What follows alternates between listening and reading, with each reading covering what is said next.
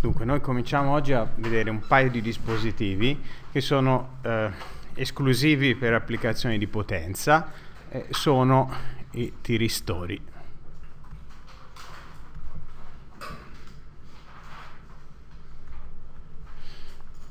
In inglese sono i thyristor con la Y è un tipo di dispositivo che è anche chiamato, almeno inizialmente fu chiamato SCR, dove SCR sta per Silicon Controlled Rectifier.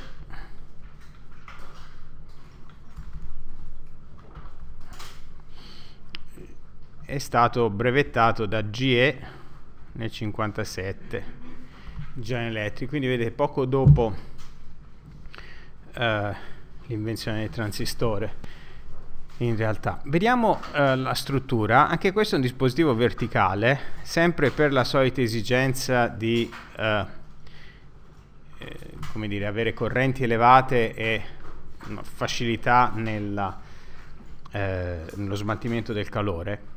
E la, la, successione degli strati è questa, c'è un terminale un, uh, che è l'anodo collegato a una regione drogata P+, un drogaggio dell'ordine di 10 alla 19 cm a meno 3 questo è proprio il contatto. Poi c'è una regione più estesa di tipo P con un drogaggio intermedio diciamo 10 alla 17 cm a meno 3 poi c'è una regione di deriva al solito che serve per uh, sopportare la tensione inversa molto poco drogata, diciamo intorno a 10 alla meno 3, quindi questa è la regione di deriva che ormai abbiamo visto essere presente in tutti i dispositivi di potenza. Poi c'è un'altra regione di tipo P con un drogaggio simile alla precedente, 5 per 10 alla meno 3, e poi c'è un'ultima regione con una diffusione di tipo N+, per avere un contatto omico buono 10 alla 19 cm-3 e qui questo è il contatto di catodo. Quindi vedete abbiamo tra l'anodo e il catodo tre giunzioni PN back to back. Quindi se vado a fare circuito equivalente in pratica che cosa vedo? vedo l'anodo una prima giunzione PN, questa qui la posso chiamare J1, poi ho una seconda giunzione PN nella direzione opposta, che posso chiamare J2, e poi ho una terza giunzione PN nella direzione di nuovo opposta, che posso chiamare J3. Quindi vedete, ho tre diodi, eh, tutti back to back, posso chiamare a loro volta J1, J2 e J3, e poi ho il catodo. Eh, in aggiunta c'è un terzo elettrodo che è un elettrodo di controllo che vedremo eh, al lavoro tra poco che è questo qua. Quindi nella zona P viene contattato un elettrodo di controllo che è il gate quindi nel circuito equivalente sta qui. Come vedremo quel gate consente di eh, accendere il tiristore quindi portarlo in conduzione ma non spegnerlo, almeno nel tiristore originale del 57 che è molto utilizzato. I tiristori sono molto utilizzati anche adesso perché consentono tensioni di blocco elevate, eh, diciamo superiori al migliaio di volt, e correnti elevate, in certi casi superiori al migliaio di ampere. Quindi, ed è il motivo per cui ancora sì, si utilizza specialmente eh, dire, per la gestione di potenze elevate nelle reti di distribuzione dell'energia elettrica. Allora, noi quello che dobbiamo cercare di fare è capire il meccanismo di funzionamento del tiristore sia in conduzione sia in interdizione. Ma dovete notare questo, che le, la giunzione, le giunzioni J1 e J2 sono tutte e due in grado di sopportare tensioni elevate inverse.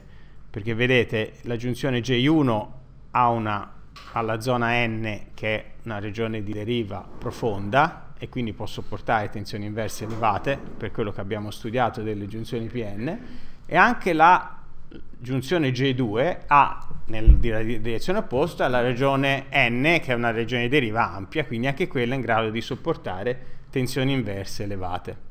Per questo motivo, rispetto agli altri dispositivi di potenza che abbiamo visto finora, il tiristore può bloccare la tensione in tutte e due le direzioni.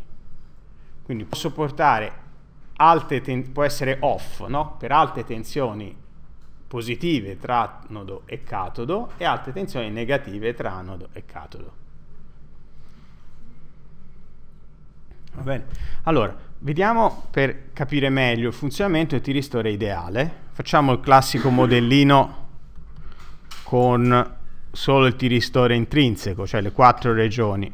Ve lo disegno di nuovo al lato in modo che sia chiaro. Quindi abbiamo quattro regioni e quindi tre giunzioni.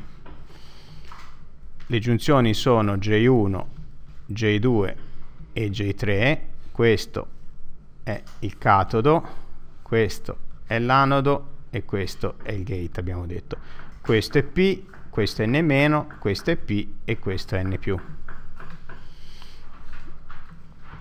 Allora, vediamo condizioni di forward blocking, quindi blocco diretto. In questo caso abbiamo VH maggiore di 0. Eh, chiaramente la giunzione che blocca il trasporto, è chiaro, essendoci tutte giunzioni back to back, la condizione di blocco è la condizione standard, perché chiaramente eh, per qualunque tensione almeno una giunzione polarizzata inversamente e quindi blocca la corrente. Questo è chiaro. Allora, in condizioni di VH positivo eh, si vede bene la giunzione J2 che eh, blocca la corrente ed è in grado di eh, come dire, supportare la tensione applicata tramite lo svuotamento della regione di deriva. In caso invece di reverse blocking,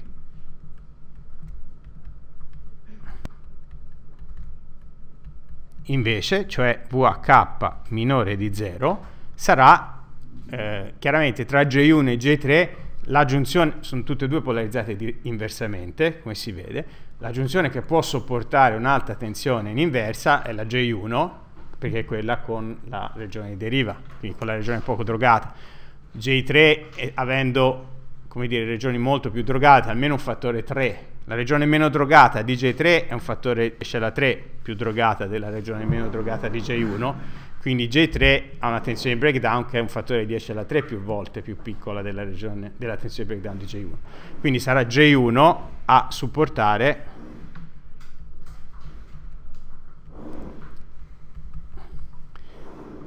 la tensione VH.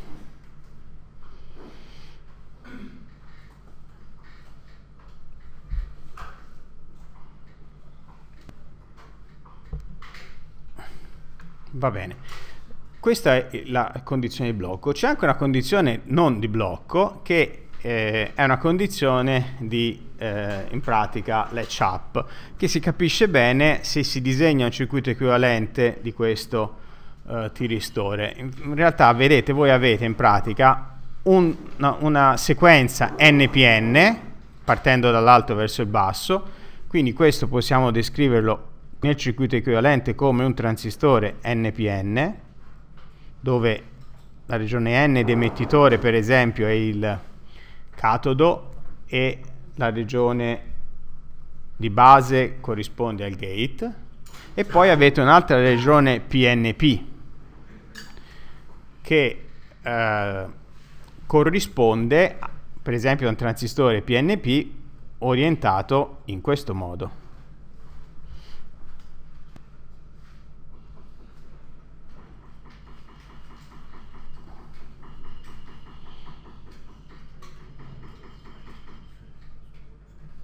Per esempio, si può rappresentare così.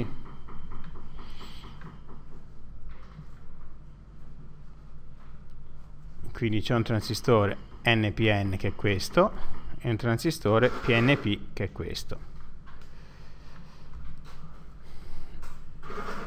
Ora, la differenza tra i due transistori, oltre il tipo, è che, eh, come vedete, il transistore PNP ha qua la base, che è la regione di deriva, quindi è molto poco drogata ed è molto ampia, per cui il transistore PNP sarà poco buono dal punto di vista del guadagno di corrente. Noi nella pratica avremo che l'alfa del transistore NPN è un numero abbastanza vicino a 1, quindi diciamo uno 0,9 si riesce a ottenere tra una cosa tra 0,9 e 1 si riesce a ottenere abbastanza facilmente l'alfa del PNP è estremamente scarso. È una cosa che di solito è più piccola di, di 0,1 insomma tra 0,01 e 0,1 in pratica è un transistore molto molto poco efficace.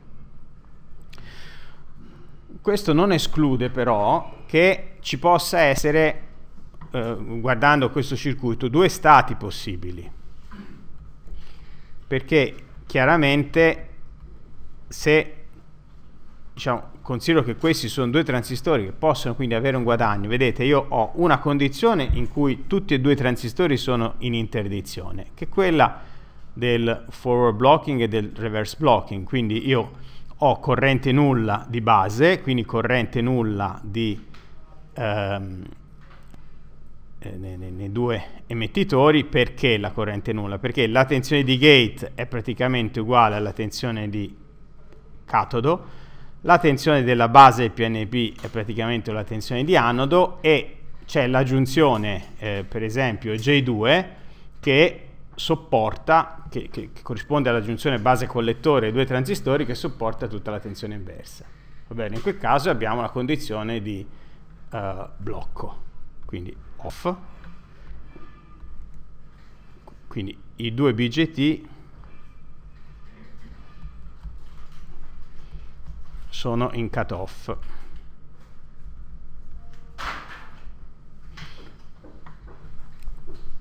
faccio i lucidi in inglese quando mi ricordo, perché a volte abbiamo gli studenti Erasmus che eh, almeno lavorano con lucidi e libro di testo. L'anno scorso sono venuti in classe, quest'anno non ce ne sono, però poi arrivano magari a fine anno che devono cercare di recuperare qualcosa, quindi cerco almeno di lasciare il, il eh, testo. E poi l'altra condizione, la condizione on, in cui in pratica i due transistori sono tutti e due in saturazione. Vedete, perché se i due transistori sono in saturazione, io posso avere, eh, per esempio, tra anodo e catodo un volt, ma eh, potrei avere, per esempio, una, un livello di tensione di questo tipo, Vedete, questo 0,8 la tensione di gate, 0,2 la base del PNP, 1 volt la base del, del cioè 1 volt l'anodo. Vedete, in questo caso posso avere tutti e due i transistori in saturazione e quindi un'elevata corrente. È una, un set di tensioni compatibile col circuito. Questa è quella che si chiama condizione di latch up.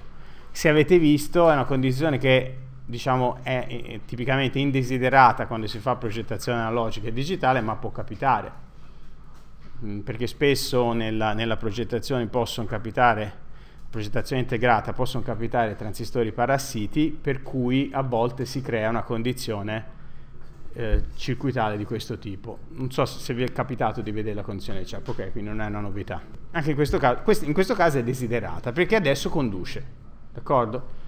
Quindi il, il tiristore funziona esattamente in questo modo. Io voglio avere il tiristore interrotto oppure il tiristore in condizione di latch up. A quel punto si comporta come un cortocircuito e quindi ha un interruttore chiuso. La cosa importante è essere in grado di passare a comando tra una condizione e l'altra. Va bene? Quindi i due transistori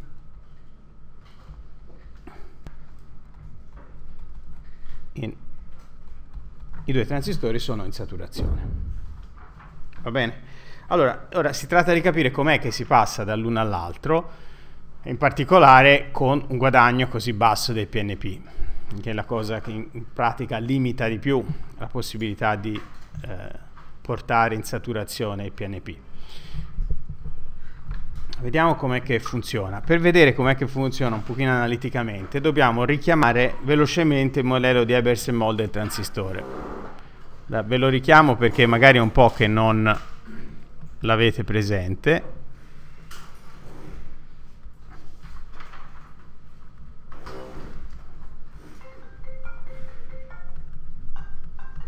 Anche questo vuole.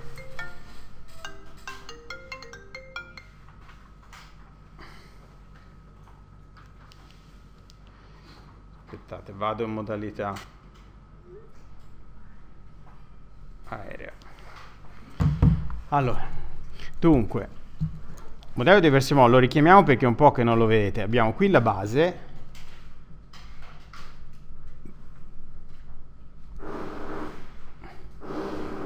I due diodi, il diodo di emettitore e il diodo di collettore. Quindi questa la chiamiamo I e D, questa corrente la chiamiamo ICD. E poi abbiamo i due generatori di corrente controllati alfa F I e D. E questo qui è alfa F no alfa R I C D.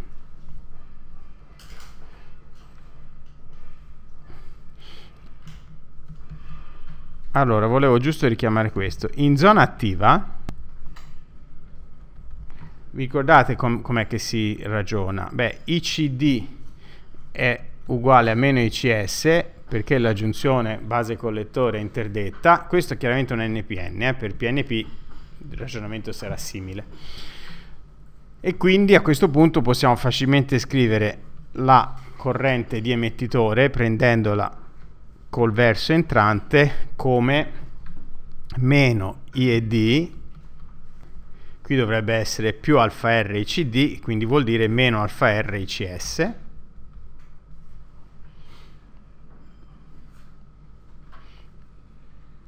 E la IC viene uguale a alfa F presa sempre entrante,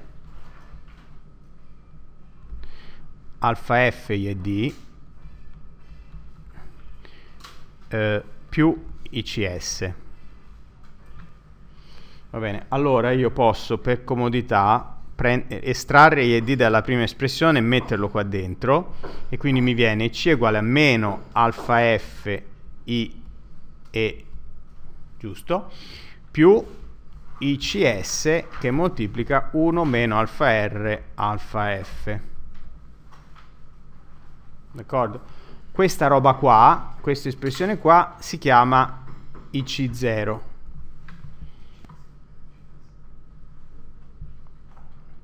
Ricordate che cos'è? È, un, è, una corrente che è una frazione della corrente di saturazione inversa del diodo del collettore, perché il termine 1 meno alfa R alfa F è eh, chiaramente più piccolo di 1, positivo ma più piccolo di 1. E cosa rappresenta? Rappresenta, come si legge dall'equazione, la corrente che passa nel collettore quando l'emettitore è aperto. Condizione di emettitore aperto tensione su, tra base e collettore negativa, la IC0 è la corrente che passa nel collettore.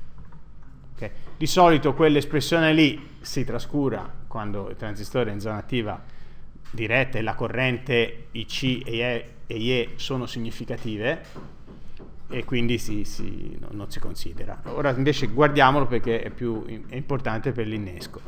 Va bene? Allora, quindi l'equazione che ci dobbiamo ricordare adesso è questa, IC è uguale a meno alfa F IE più IC0.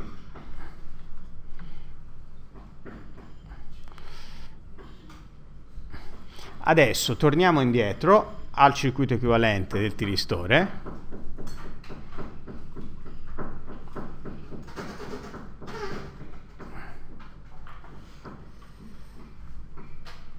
Eh, per comodità lo disegno, è solo comodità, lo disegno dall'alto verso il basso, capovolgo, ok? Così qua ho il PNP e qui questo è il PNP e questo qui è l'NPN. Quindi ho, ho capovolto, va bene? Questo è il catodo, questa qui chiaramente è il gate. Allora, mettiamo un po' di nomi. Questo è il PNP, questo è l'NPN, questa corrente qua è la corrente di anodo, questa corrente qui è la corrente di gate, chiaramente la corrente di catodo è la corrente di anodo più la corrente, ops, più la corrente di gate, bene, questo è facile, e poi, eh, beh, dunque facciamo questo è il transistore 1 e questo è il transistore 2, questa qui, veniva bellissimo l'audio, no? Perché questa qui è IC2 e questa qui è IC1. Beh, insomma, c'è quello dell'anno scorso. Allora.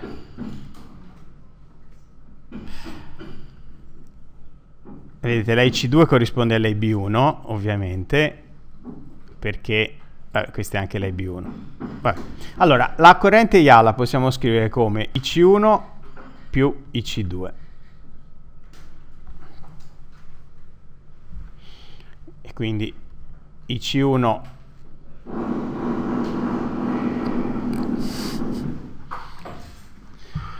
Ok, va bene. Allora, IC1 è, è, è, usando l'espressione del modello di Ebersemont che abbiamo visto sopra, la possiamo scrivere come alfa del PNP per la corrente di emettitore che IA uh, più i C01 qui il segno era un meno però è chiaramente i, i, C1 è uscente quindi va bene così va bene ok alfa dell'NPN è invece un'altra cosa eh, dunque C2 invece lo scriviamo in funzione dell'NPN quindi qui che cosa c'è? c'è alfa NPN per la corrente d'emettitore che è IA più IG ok?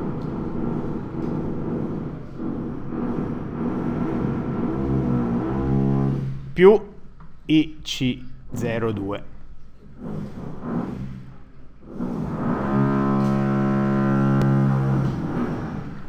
Allora, vediamo se i, i, segni tornano, perché la corrente di collettore è entrante, qui, no, qui c'è un meno. Qui c'è un meno. Ecco, allora vedete, io adesso posso, eh, ho tutte costanti tranne IA e IG e quindi posso esprimere IA in funzione di IG ed è quello che faccio. Quindi mi viene IG che moltiplica, c'è soltanto, allora termini senza IA, quindi c'è alfa NPN per IG meno IC01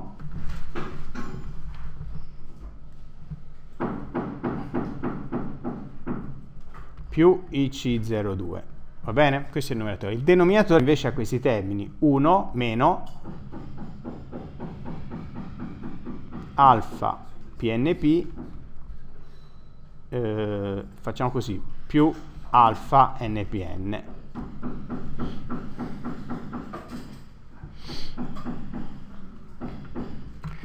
Allora, ora, tenete presente, come al solito, noi adesso stiamo studiando un meccanismo eh, in realtà eh, dinamico, perché noi vogliamo vedere quando avviene la transizione tra interdizione e conduzione del, del tiristore e invece abbiamo scritto equazioni tutte valide in una situazione statica. Quindi dobbiamo, dobbiamo stare attenti a questa, a questa differenza. Vediamo come la interpretiamo si vede com'è l'espressione e vedete IA aumenta se aumento i G, d'accordo? Però se il denominatore è positivo, va bene, nel senso alfa n, i due alfa hanno una somma inferiore a 1, comunque avrò un, eventualmente un certo fattore di amplificazione, ma insomma la corrente di, di anodo è proporzionale a G, quindi se G è piccola è più o meno piccola. D'accordo?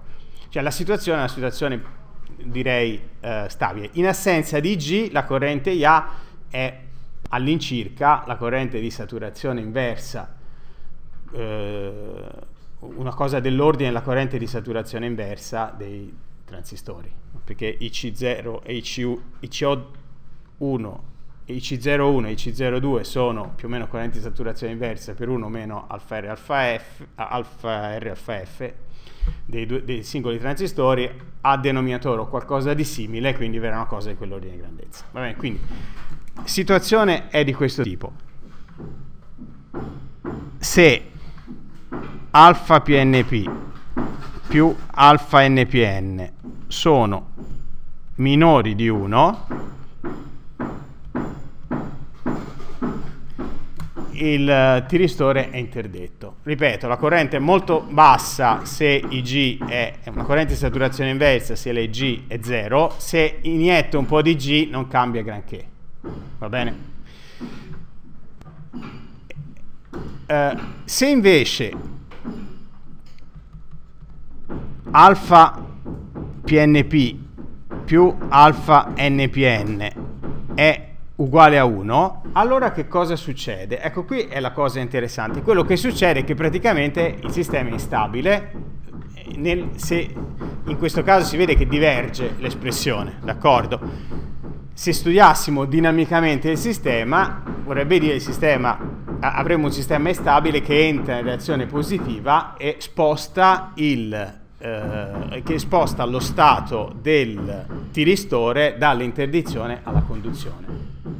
Quando, è come quando voi studiate un sistema in reazione e avete al denominatore 1 meno beta A. No? Quando avete che 1 meno beta A al denominatore va a 0, staticamente, che cosa vuol dire? Vuol dire che dinamicamente il sistema è diventato instabile. Questa è la stessa cosa che succede qua. Okay. Ci conviene vederlo così perché è più intuitivo rispetto a fare il conto del, del, del, del sistema eh, nel, nel, nel, nello spazio della trasformata e Laplace. Dal punto di vista intuitivo e circuitale che cosa succede? Si vede abbastanza bene che se c'è un po' di guadagno in tutte e due c'è il meccanismo del latch up che si innesca perché immaginate che i due transistori siano interdetti se aumenta se ho un pochino di corrente di base, per esempio del transistore numero 2, c'è un po' di guadagno, aumenta la corrente di collettore, quindi aumenta la corrente della base del transistore 1, quindi se c'è un po' di guadagno aumenta la corrente nel collettore del transistore 1 che viene iniettata nella base del transistore 2, quindi vedete il meccanismo di reazione positiva che, che progressivamente aumenta le correnti in tutti e due i transistori e porta i due transistori in saturazione va bene? Perché si inneschi questo meccanismo, staticamente si vede che la somma dei due alfa deve essere uguale a 1. Quindi il sistema in quel momento diventa instabile e si porta nell'altro stato stabile che è quello in cui tutti e due i transistori conducono. Va bene? Quindi si tratta di capire eh, se siamo nella prima situazione e se siamo nella seconda. Ecco, nella pratica ci, si può andare a comando dalla prima alla seconda, perché gli alfa dei transistori non sono, eh, diciamo, fissi, ma dipendono dalle condizioni di polarizzazione. Va bene? Vediamo perché e che cosa succede. Allora, disegniamo un attimo le... Eh, le bande andando dall'anodo al catodo. No, per comodità facciamo proprio il potenziale.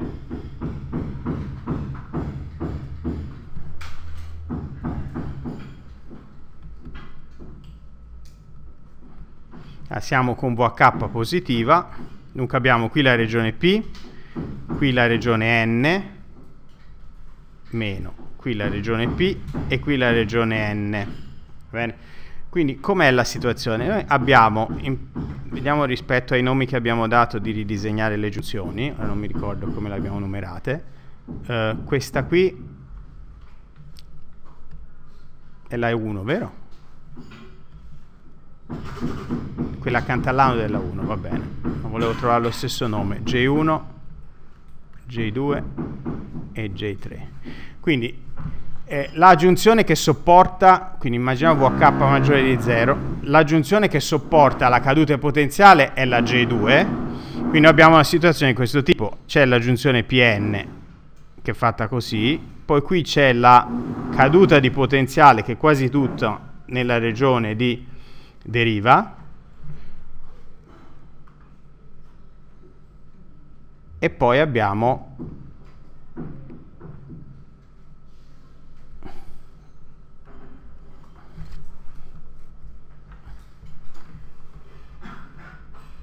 un'altra giunzione. Ok, quindi questa è la regione di svuotamento.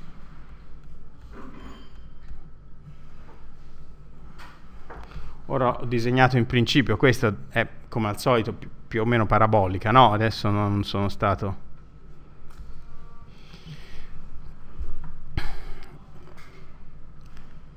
Allora, meccanismo di trasporto qual è? Ci sono le lacune che questo, il potenziale è, è uguale all'andamento dell'energia potenziale per le lacune, quindi le lacune che sono qui vengono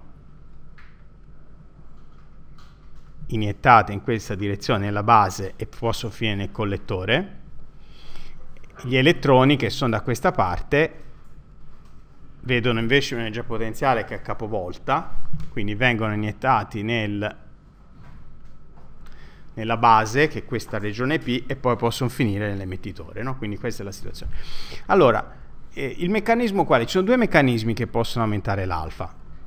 Il primo meccanismo è all'aumentare DVH, che ho scritto in italiano, va bene. Quando aumenta VH,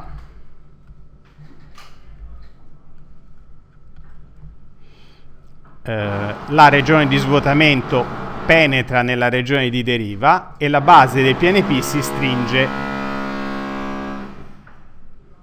Ok? Ripeto, quando aumenta VH aumenta la caduta sulla regione di deriva e quindi la regione della base del PNP efficace si stringe.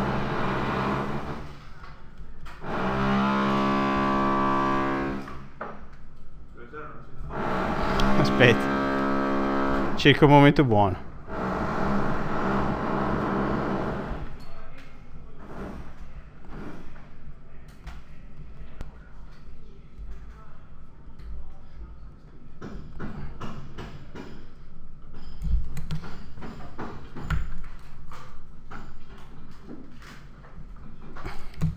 Dunque, ripeto, quando VH aumenta, poiché la VH cade tutta sulla giunzione G2 e quindi causa uno svuotamento della regione di deriva, la parte neutra della regione di deriva si riduce. Allora, quella parte neutra, che è questa, è la base eff efficace del PNP. Questa si stringe e nella pratica questo fa aumentare il guadagno del PNP che è molto molto basso, però quindi anche un piccolo aumento può essere significativo. Quindi che cosa, che cosa vuol dire questo? Vuol dire che eh, vuol dire che all'aumentare di VH si passa da una situazione in cui questo termine qui alfa PNP più alfa NPN minore di 1 a una situazione in cui questo è uguale a 1. Quindi a un certo punto all'aumentare di, di VH si innesca il, uh, il tiristore. Si passa dalla situazione di off alla situazione di on. D'accordo? Quindi questo passaggio viene garantito dall'aumento di PNP, di alfa PNP.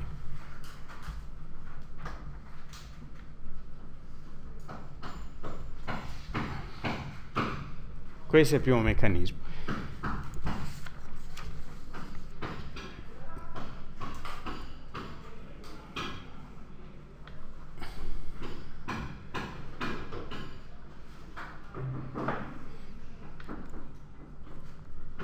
Un altro meccanismo è invece se aumento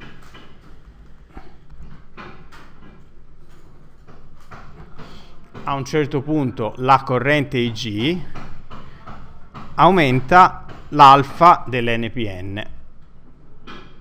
Questo è il secondo meccanismo che può funzionare. Torniamo un attimo indietro, si dovrebbe capire bene guardando il circuito, perché la corrente IG aumenta la corrente di base dell'NPN. Voi sapete che l'alfa aumenta l'aumento della corrente di base. Abbiamo, abbiamo, detto anche riparlando dei transistori bipolari che il guadagno di corrente del transistore aumenta all'aumentare della corrente e poi quando siamo in eh, zona di alta iniezione continua a ricalare. Bene, questa è una cosa che è, è come dire, un, un, effetto noto di tutti i transistori, quindi una, un aumento temporaneo della corrente di base dell'NPN fa aumentare l'alfa e quindi può di nuovo far aumentare questa somma. Questi sono due meccanismi che possono funzionare separatamente, ma possono funzionare anche eh, contemporaneamente, quindi possono aiutarsi tutti e due. Questo vuol dire che quando vado a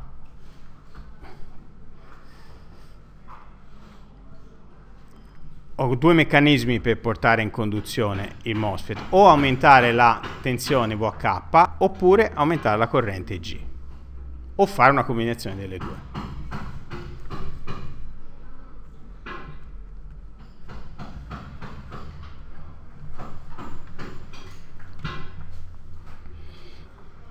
Va bene. Eh, prima di disegnarvi una caratteristica vi voglio far notare un'altra cosa che è quello che succede in conduzione. Perché nei tiristori abbiamo quel meccanismo di modulazione della conduttività che abbiamo già visto nei bipolari. Di nuovo, quando abbiamo disegniamo di nuovo il tiristore intrinseco, va bene? Quindi anodo catodo. Quindi abbiamo P N meno P N più. E questo è il gate. Allora se io rappresento l'andamento uh, dei drogaggi in, a, eh, a riposo io ho una situazione genere. Per gli n facciamo gli n eh, gli elettroni in rosso e invece su scala logaritmica gli elettroni in rosso e le lacune in blu. Allora avrò qua un drogaggio molto basso, qui un drogaggio elevato degli ehm, elettroni e per le lacune avrò una situazione intermedia, diciamo.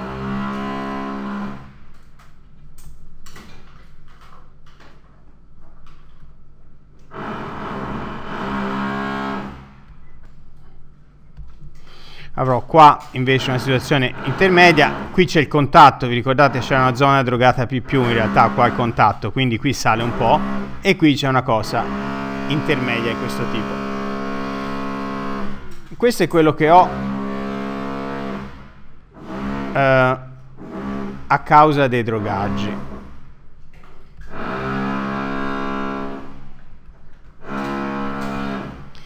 Quando conduce mortale così. Quando questo invece conduce, immaginate l'NPN che conduce. Allora, l'emettitore che è questo inietta eh, elettroni dentro la base, ok? Gli elettroni arrivano nella base, dalla base arrivano al collettore, che è questa zona N-, che è molto poco drogata. Gli elettroni che arrivano sono in concentrazione molto più elevata di quelli che, che sono già presenti e quindi si arriva a una situazione praticamente di questo tipo. Quindi viene la regione di deriva, come dire, annegata di elettroni che provengono dal collettore. Analogamente, di qua succede la stessa cosa, quindi se vado a fare il, que- questi elettroni quando arrivano nella zona P vengono poi risucchiati. Dall'altra parte la regione P inietta lacune di nuovo per forza di cose le inietta nella stessa quantità perché complessivamente la regione rimane neutra. D'accordo? Quindi abbiamo che rispetto al livello diciamo, di, di, di riposo, di carica nelle varie regioni, quando siamo in eh, conduzione, quindi con tutti e due i transistori in saturazione, i due mettitori iniettano cariche nelle due basi e, e poi nei due collettori che sono poco drogati e praticamente da, creano il, quello che abbiamo chiamato il plasma di carica. D'accordo? Gli elettroni che sono presenti in eccesso a loro volta attirano ulteriori lacune in eccesso e abbiamo quindi un plasma di carica complessivamente neutro ma in cui le singole popolazioni di elettroni e di lacune sono molto maggiori delle popolazioni che erano residenti nella regione, nelle regioni diciamo meno drogate regione di deriva e le due regioni P. Il risultato netto qual è? È che la resistenza del blocco tra anode e catodo è estremamente ridotta.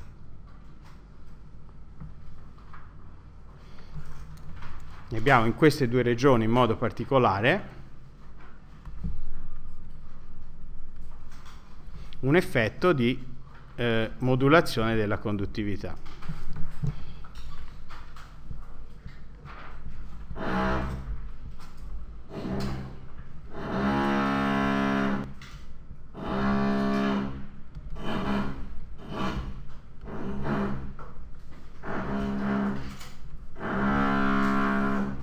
Questo era l'NA precedente.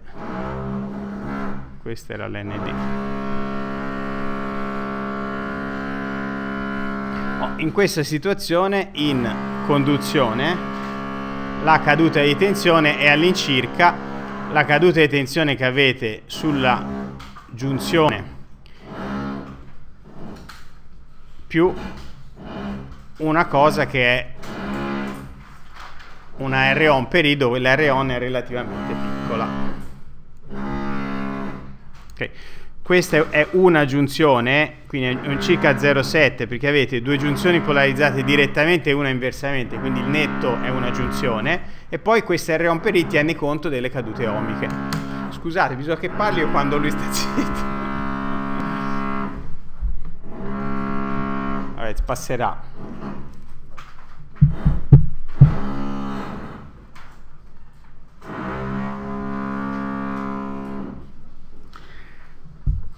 Allora, quindi, eh, ricapitolando, abbiamo visto due, il meccanismo di accensione, abbiamo visto che cosa succede in conduzione, quindi c'è un forte calo della resistenza serie tra anode e catodo. Dobbiamo un attimo parlare dello spegnimento.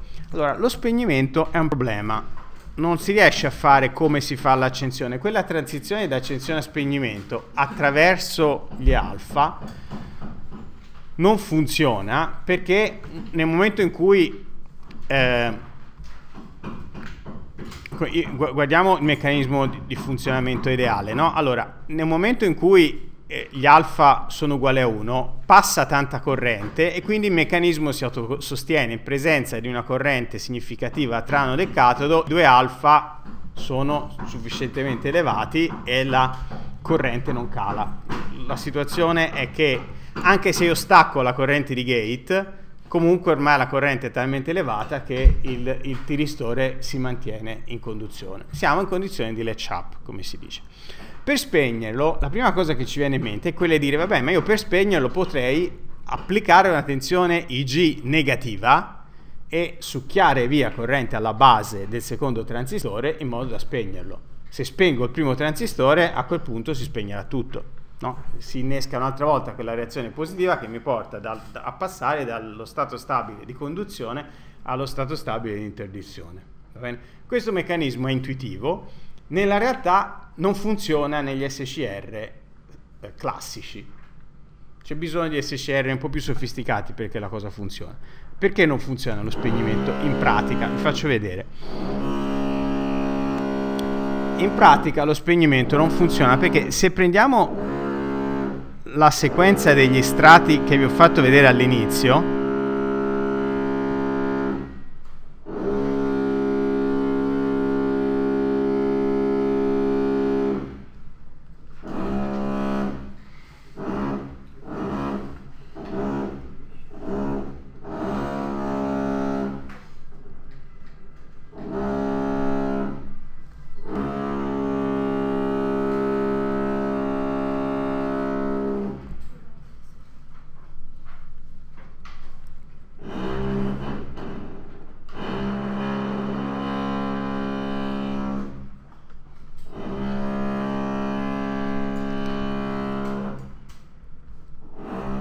Allora, la situazione è questa. Immaginate, eh, ragioniamo sullo spegnimento, no? Quindi immaginiamo che il transistore che il tiristore sia attivo e noi vogliamo spegnerlo. Qual è il problema? E quando il transistore è attivo, qua dentro c'è il plasma, no? Vedete qua c'è tutta la regione, ecco, nella zona P e nella regione N- c'è tutta la regione di, eh, diciamo, allagata okay, di cariche elettroni e lacune complessivamente neutra e, e, questa regione qui crea il passaggio eh, diciamo favorito tra anodo e catodo. La, la presenza del cortocircuito. Se voglio spegnere il tiristore devo levare di mezzo questa carica. Per levare di mezzo il plasma io posso applicare una, una corrente negativa al gate e sperare di risucchiarlo da qui. Bene. Il problema è che questo percorso ha una sua resistenza e quando applico una tensione negativa sul gate, mentre la tensione qua la posso portare al valore che voglio, nella regione interna non riesco mai a svuotare perché la tensione, eh, come dire, se la tensione qui è bassa, su, lungo la resistenza c'è una caduta, la tensione internamente rimane nettamente più alta. Quindi se la regione è abbastanza grande, io dal gate non riesco mai a svuotare tutto non riesco mai a applicare una tensione così bassa da riuscire a svuotare il plasma. Finché il plasma si autosostiene, eh, il, il tiristore continua a funzionare. E pensate che il plasma si autosostiene perché i contatti continuano a iniettare. Quindi c'è il catodo, che è l'emettitore dell'NPN, continua a iniettare elettroni, l'anodo continua a iniettare lacune, bisogna essere più veloci nell'estrazione di quanto sia l'iniezione. D'accordo? Quindi non ci si riesce. Eh, vi anticipo già la, la soluzione, eh, però intanto il tiristore classico è fatto così e non ci si riesce. Ci sono tiristori in cui questa cosa funziona perché si fanno questi tiristori elementari molto piccoli, per cui questi percorsi da catodo a regione interna sono molto brevi e effettivamente le resistenze quindi sono piccole e si riesce a estrarre. Quindi per riuscire a estrarre bisogna avere un tiristore fatto da tante piccole celle in parallelo. Il tiristore classico non era fatto così. Il tiristore classico visto dall'alto aveva al massimo un catodo interdigitato, quindi visto dall'alto aveva una cosa del genere, un catodo fatto così,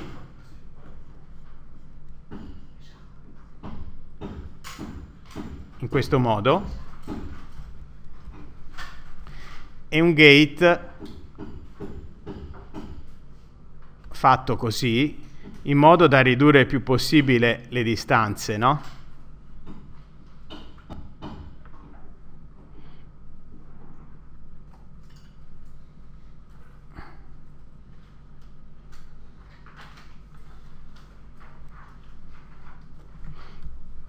Questo è gate, questa è la situazione vista dall'altro, questo va colorato tutto per fare un lavorino fatto bene.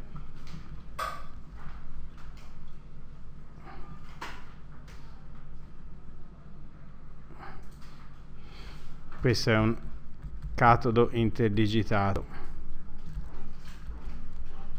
Digitated.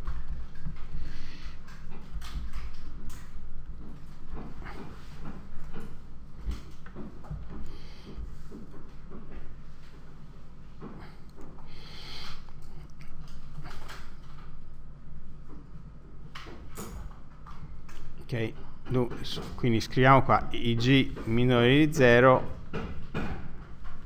cannot deplete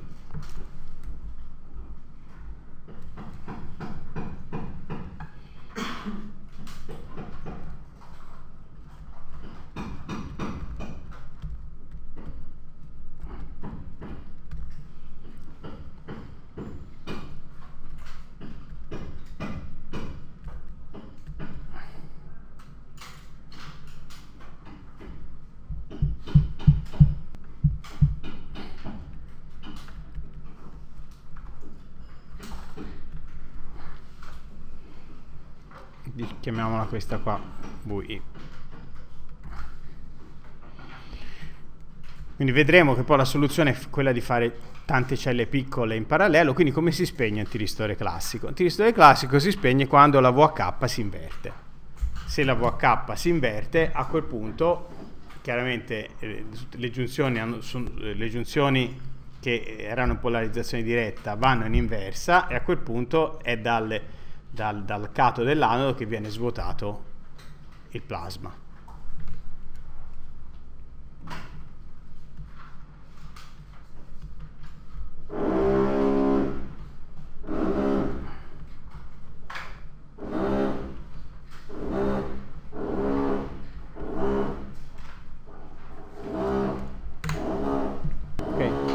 Quindi, concludendo, il tiristore classico si accende iniettando una corrente di gate oppure con una tensione VH sufficientemente alta e si spegne applicando una tensione inversa tra anodo e catodo.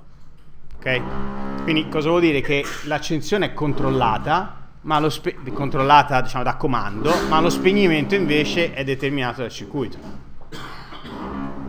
Ok? Va bene, allora disegniamo la, car la caratteristica del, eh, dell'SCR cara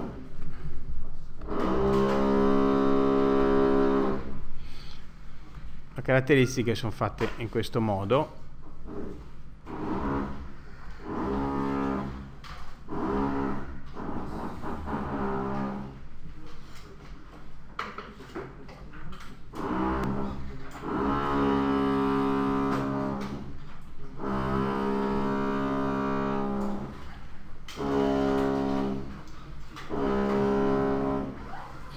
Allora, abbiamo due tensioni di blocco, perché facciamo prima la caratteristica in condizioni di G0, va bene?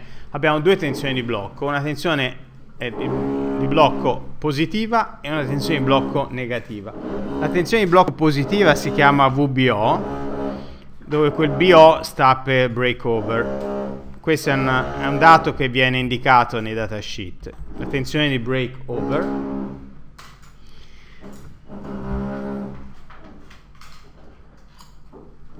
si chiama anche, eh, oltre VBO, si chiama anche V...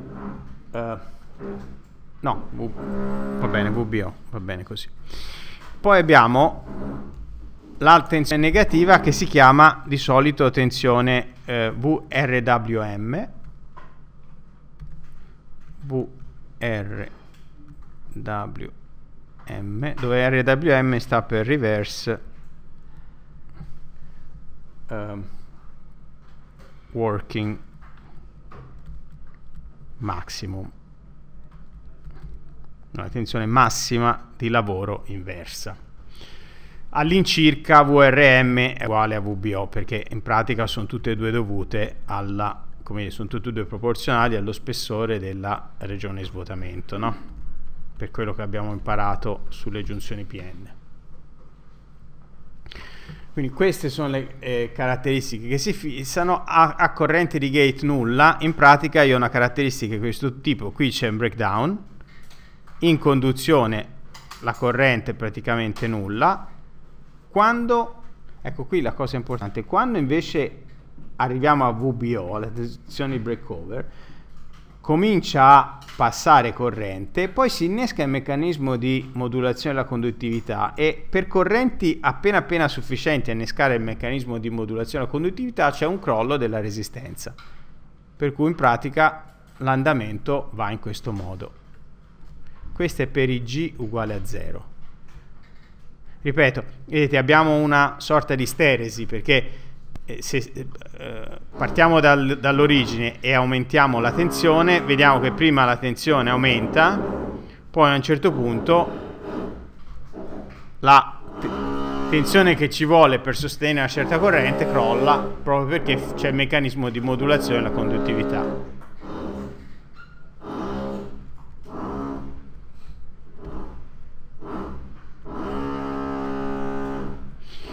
Quando torniamo indietro, eh, in pratica tornando indietro che cosa succede? Immaginiamo di, prima andiamo avanti, poi torniamo indietro. Quando torniamo indietro invece la corrente cala soltanto quando applichiamo la tensione inversa, quindi si segue questo percorso. Per l'accensione bisogna almeno raggiungere la tensione di breakover, per lo spegnimento bisogna applicare una tensione inversa. Ok?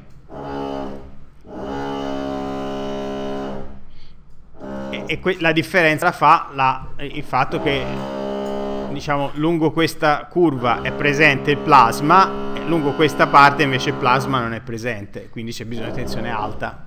Va bene?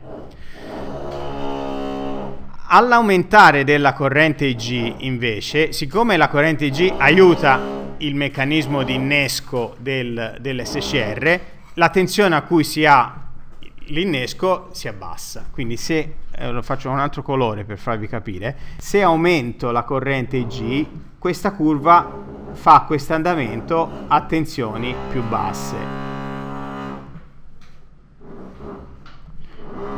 in principio potrebbe bastare soltanto le G per fare, quindi potrei anche attaccarmi così. Queste curve qui sono fatte all'aumentare di G. Quindi più siccome i due meccanismi IG e VH sono concorrenti, aumentando la G si riduce la tensione a cui si avviene l'innesco.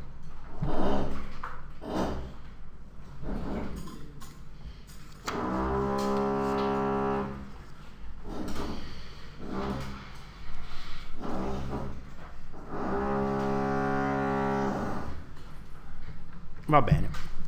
Allora, vediamo i transitori.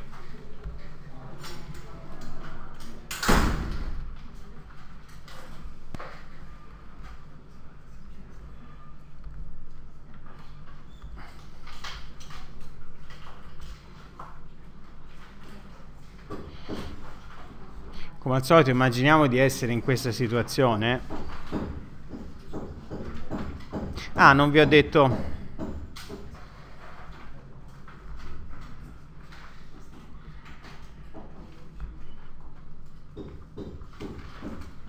simbolo.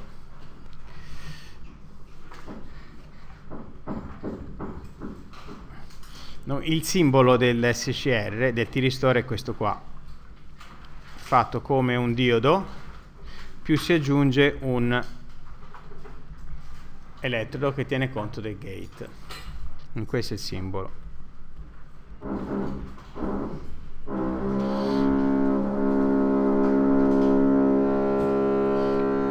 Allora, vi volevo disegnare que questa situazione che è il caso tipico di funzionamento, in cui per esempio se un carico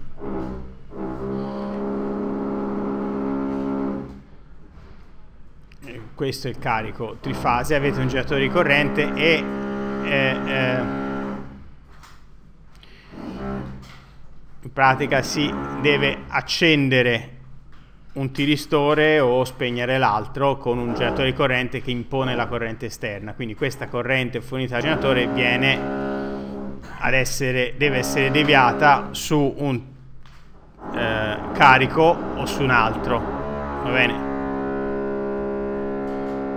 Per cui questa è la situazione che abbiamo già visto, insomma ragioniamo come se ci fosse un generatore di corrente a spingere la corrente all'incirca costante nel, nell'interruttore controllato. Allora, eh, cosa succede? Il, il, quello che succede è molto simile a quello che abbiamo già visto per i bipolari, quindi facciamo abbastanza presto a, a vederlo.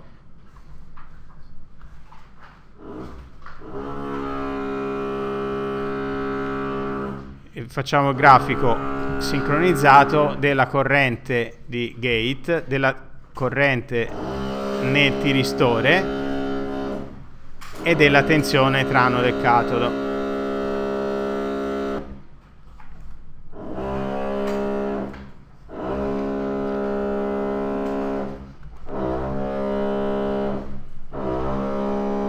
Immaginiamo che questo sia lo zero.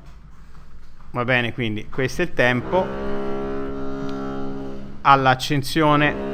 Voglio vedere la corrente e la tensione VH allora all'istante eh, eh, prima di zero la, la, corrente è nulla la cosa è spenta, no? quindi la corrente è nulla, la tensione VH è, massi- cioè è alta, è in condizione di blocco, va bene, quindi è off. A un certo punto noi che cosa facciamo?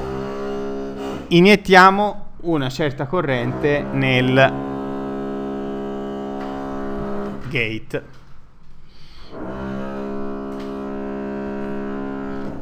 Eh, la corrente ha questo andamento in pratica, c'è prima una, un intervallo di tempo durante il quale la corrente praticamente non cambia. In pratica eh, diciamo, l'effetto ancora non si vede, la, la, la, si sta, come dire, eh, beh, vengono iniettate lacune nel, nel, nell'emettitore dell'NPN, l'emettitore a sua volta quindi inietta elettroni nella base e inizia a, a, a, dire, a, polarizzare in zona attiva diretta il transistore NPN. E quindi all'inizio però di questo processo non succede niente, quindi c'è un tempo TD, il delay time, durante il quale all'esterno l'effetto non si vede. Poi l'NPN e il PNP si portano in zona eh, di conduzione, prima attiva diretta e poi di saturazione, e la corrente sale fino al valore richiesto, richiesto dal generatore corrente. Quindi questo è un tempo che si chiama T-rise, TR, è il rise time. Chiaramente durante questa fase la tensione cala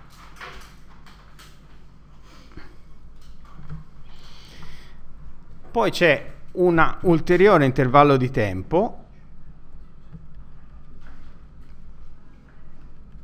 che può essere abbastanza più lungo degli altri, che si chiama eh, in generale TPS, dove quel TPS sta per eh, plasma spreading.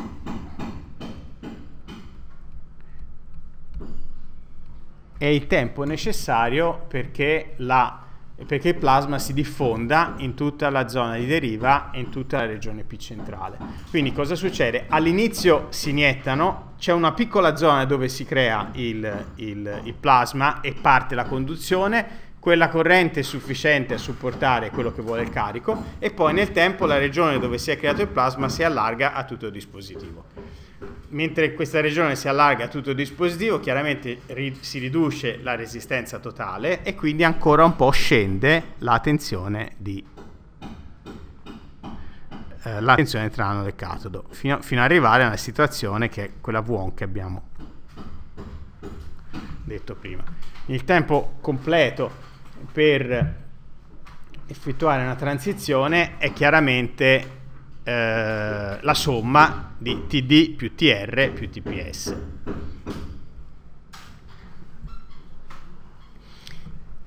Ecco, l'unico aspetto critico qua è che in generale è necessario limitare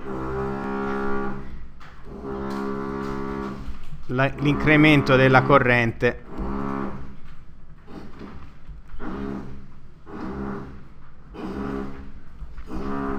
perché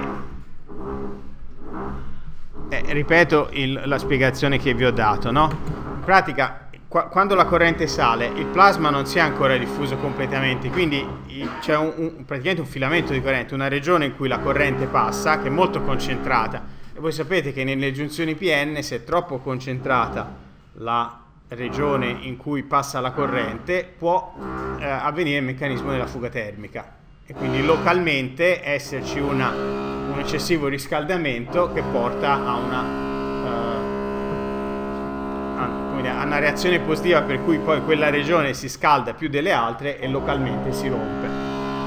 Bene, quindi bisogna tipicamente limitare la derivata della corrente rispetto al tempo per dar modo al plasma di uh, diffondere e quindi evitare, il, eh, evitare la fuga termica mi dispiace, anche, anche, per me è difficile perché è molto una distrazione forte parlare con questo eh, rumore. Questa chiaramente è la registrazione da buttare, però poi cioè, non è importante, c'è quella dell'anno scorso, però insomma eh, mi, mi spiace che mi, anche tenere il filo non, non, è, non è banale. Ok, in spegnimento la situazione è eh, diversa, ma è molto simile a quella che abbiamo già visto per i diodi, perché in pratica lo spegnimento avviene solo attraverso eh, la polarizzazione inversa del tiristore. Quindi vediamolo velocemente il turn off.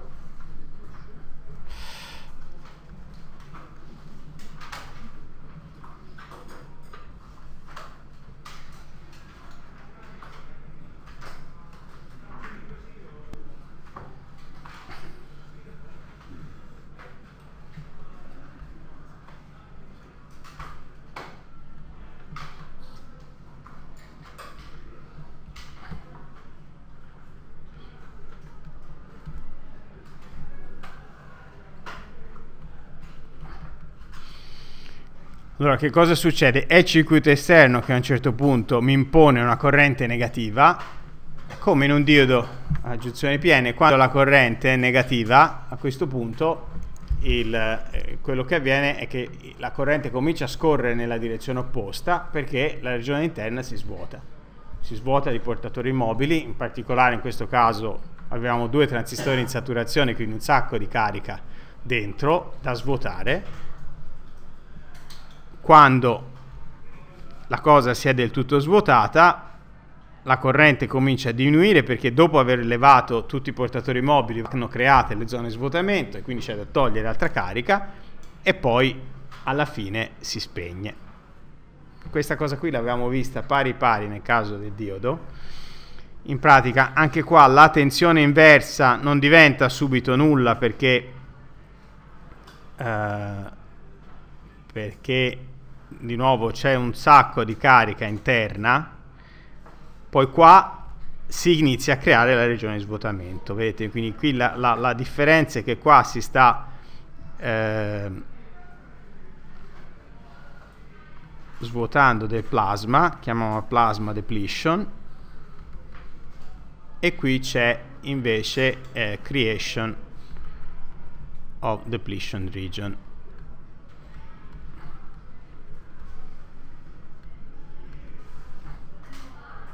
Per cui la tensione, come gi giustamente quando si crea la zona di svuotamento, la tensione diventa una tensione inversa. E qui di solito c'è un picco verso il basso, come avevamo visto anche nel diodo, perché in questa zona qui c'è corrente inversa e regione di svuotamento formata, quindi c'è una caduta di tensione dovuta alla regione di svuotamento e una caduta di tensione dovuta alla corrente che passa e poi si arriva alla regione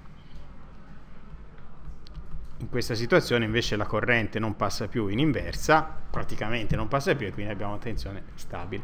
Di solito sono due grandezze che si indicano che sono, beh, in generale queste due, questo tempo, il tempo di rever reverse recovery time e la corrente di reverse recovery che è la massima corrente negativa che passa quindi questa RR sta per reverse recovery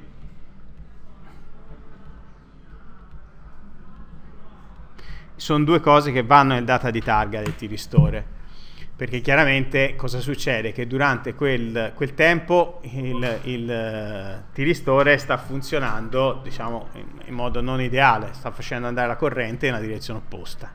Quindi è importante dire, valutarlo perché è un, una situazione di perdita di efficienza del, uh, dell'apparato di potenza che si realizza.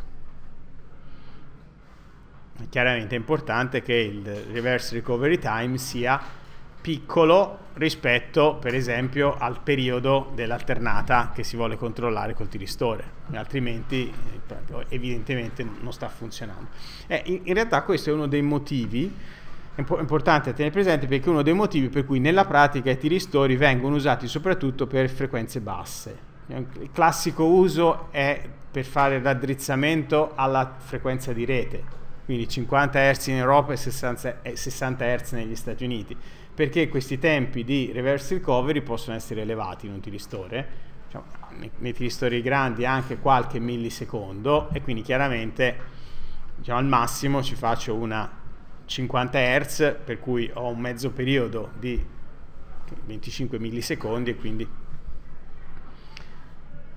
eh, no, 50 Hz, aspettate, ho fatto il conto al volo di, eh, di 10 millisecondi, no? E quindi non, non, un millisecondo così posso perderlo, ecco, però è, è, è effettivamente critico. Il tempo è lungo perché c'è un sacco di carica.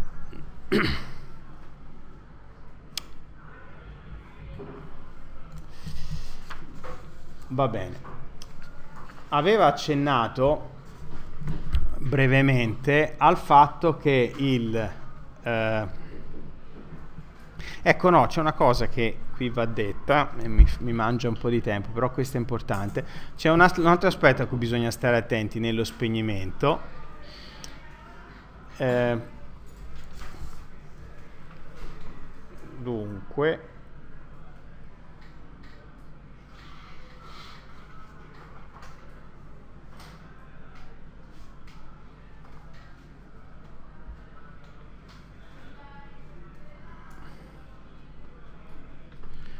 che si vede meglio nell'altro tipo di dispositivi, va bene. Allora, vi faccio vedere questi GTO, un altro tipo di tiristore, in cui effettivamente si riesce a fare lo spegnimento dal gate, che è la cosa che vi citavo prima. Questi eh, tiristori GTO si chiamano, eh, GTO sta per Gate Turn Off,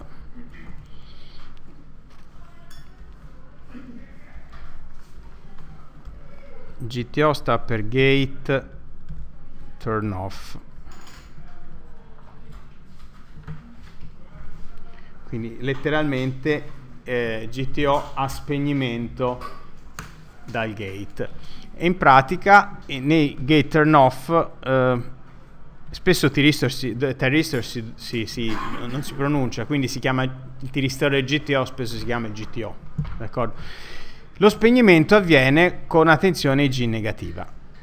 In questo caso ci si riesce e il motivo principale per cui ci, eh, ci si riesce è che eh, abbiamo tante strutture in parallelo, quindi tante strutture piccole, strutture di tiristore interdigitate in parallelo.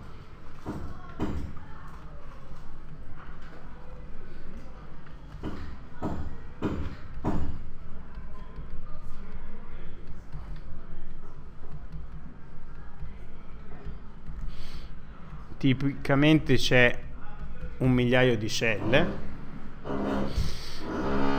In aggiunta a questo si adopera una, questo è lo stratagemma principale, in aggiunta a queste si, adoperano altri due stratagemmi che sono in pratica il, il fatto di realizzare delle isole al catodo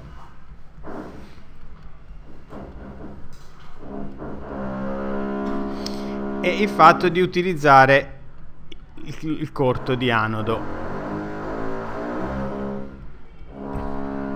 La prima è abbastanza facile da vedere, vediamo di che si tratta, eh, di che, di che, in che cosa consistono le altre due. Il simbolo del GTO è leggermente diverso dal simbolo dell'SCR, ve lo faccio vedere, in pratica si sottolinea il fatto che può aversi lo spegnimento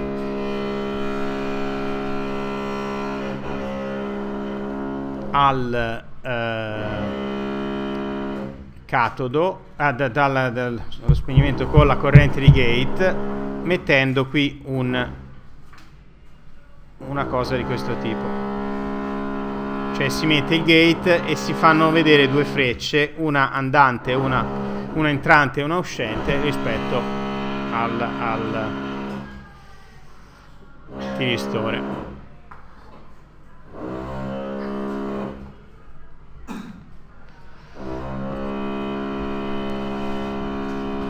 Allora, com'è fatta la struttura?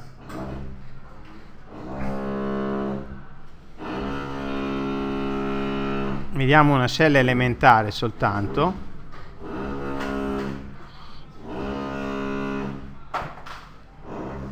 Voi così è mortale. Ma voi andate via da qui dopo, sì, non siete...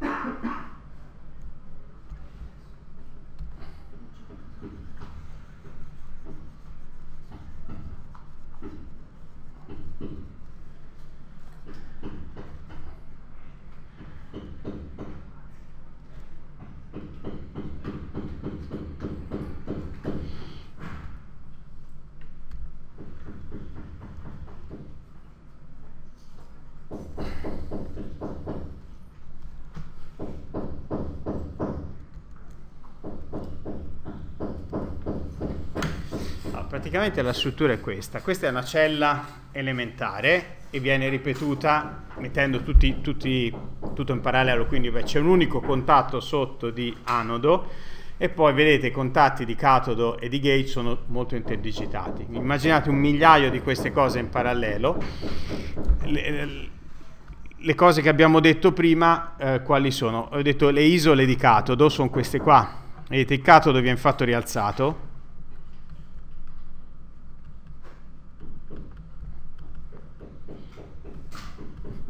e perché, vedete, c'è proprio una, una, struttura che si fa con, con edge verticale, un attacco verticale, per quale motivo? Per riuscire a portare il contatto di gate il più vicino possibile alla regione dove c'è il plasma. Quindi vedete, da un lato si fanno queste strutture molto piccole, poi si, porta, si fa questa isola in modo da portare il gate molto vicino e ridurre il più possibile questa distanza. Va bene? Dov'è che si crea il plasma? Il plasma si crea qua Qua, questa è la zona dove si crea, no?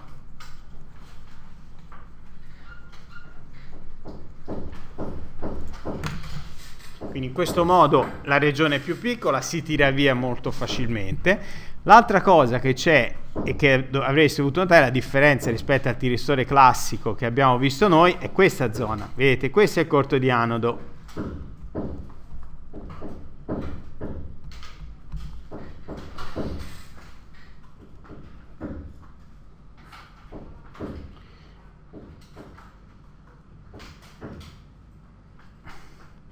Corto di anodo eh, ha un effetto che si vede un pochino meglio eh, facendo il circuito equivalente, però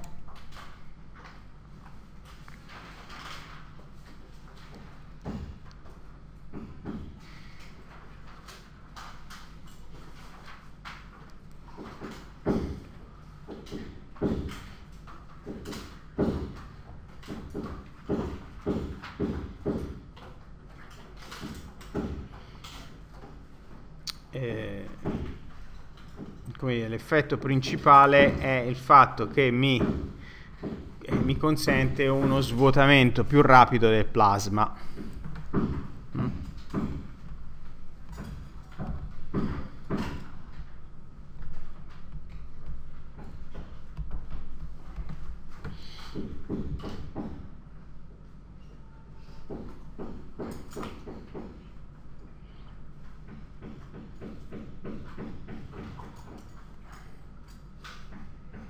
Va bene, io farei così, a questo punto la fermiamo qui, eh, perché devo farmi un disegno del circuito equivalente e ci mettiamo un po' e, e così magari riprendiamo quando siamo un pochino più confortevoli, sperando che la